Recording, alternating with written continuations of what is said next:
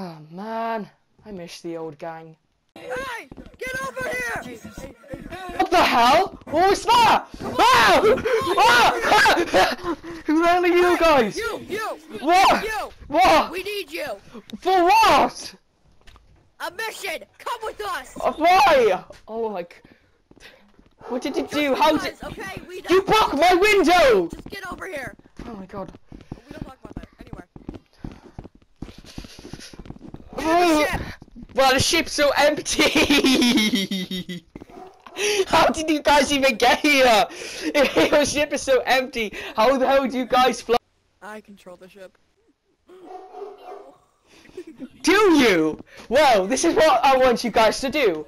I want you guys to get your. I want you to get the ship out of my house or out of, of out, not nearby my apartment. Okay.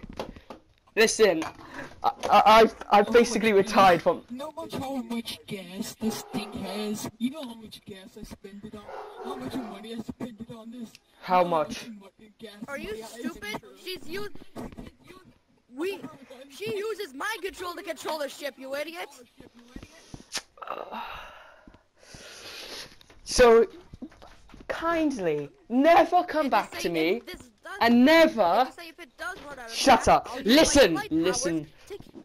Listen to me. Never come back here again, okay? Okay, good. Now I'm gonna leave. Are you serious right now, bro? You've gotta be joking. Listen to him. Listen to him. Hmm? Give me all your dino nuggies. No. I don't even have any. I tried. Yes, I tried. So, Solstice, get us away. oh for God, you, you're joking, right? You're not actually gonna kidnap me and force me to do mission, right? Yes. Well, we told are. you to get. out- We told you to come with us, but since you decided not to, we had to get you here by force. This is even worse than like getting Well, I raped. can always use my AK-12. I can always use that option. Hmm. You know, you guys' rope isn't that efficient. Not use violence, okay?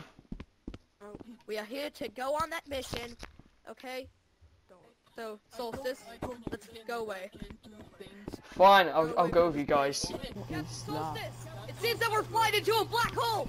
Quick, uh, move the ship around or something! Wait, look, uh, I, Oh no, she's asleep! Alex, wake up! Wake up! Wake up!